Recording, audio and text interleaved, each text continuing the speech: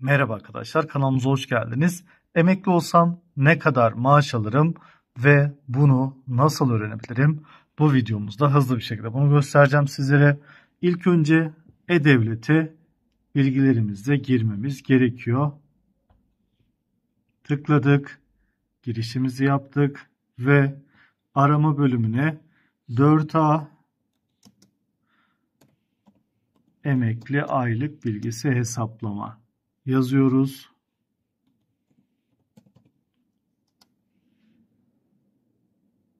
Sosyal Güvenlik Kurumu dedik. Aşağıda yukarıdaki bilgilendirme yazısını okudum deyip devam et diyoruz. Daha sonra buradan özel mi, kamu mu onu seçiyoruz. Bakmakla yükümlü olduğumuz kimseler var mı? Onu seçiyoruz. Hesapla ve ortalama aylık kazancımızı buradan görebiliyoruz arkadaşlar.